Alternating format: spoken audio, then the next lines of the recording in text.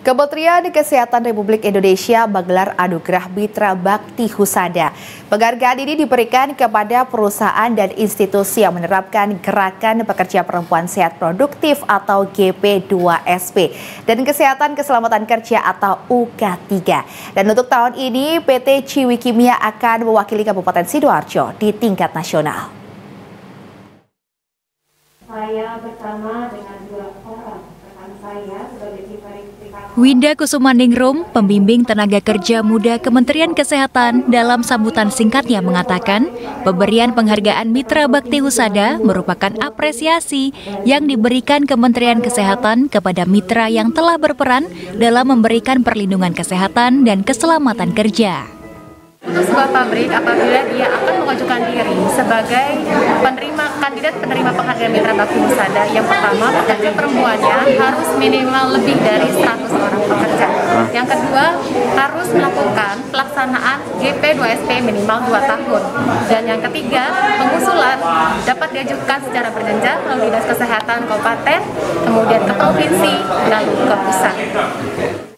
Sementara itu, terkait terpilihnya PT Ciwi Kimia yang akan mewakili Kabupaten Sidoarjo dalam Anugerah Mitra Bakti Husada tahun 2022 tingkat nasional, Dinas Kesehatan Kabupaten Sidoarjo berharap agar kesehatan perempuan pekerja terjamin dan terlindung, sehingga bisa produktif terjaga dan juga mendukung perekonomian negara dan pekerja-pekerja perempuan ini juga mempunyai hak yang sama untuk mengakses pembangunan. Sehingga di perusahaan pun harus ada kebersamaan atau keadilan dari perempuan itu bukan sebagai makhluk yang merepotkan, tetapi makhluk yang ternyata kemampuannya juga sama dengan laki-laki, asalkan diberikan uh, skala prioritas yang uh, menghambat aktivitasnya.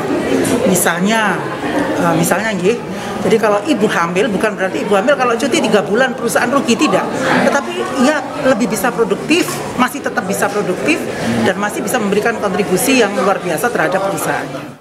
Penghargaan Mitra Bakti Husada untuk Gerakan Pekerja Perempuan Sehat Produktif diberikan kepada 15 perusahaan per tahunnya yang memiliki tenaga kerja wanita.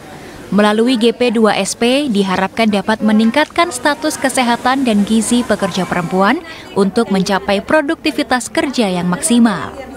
Di mana memang dinilai baik di tingkat kabupaten, di tingkat provinsi, Ciwi Kimia sudah menerapkan program-program untuk uh, pekerja perempuan khususnya.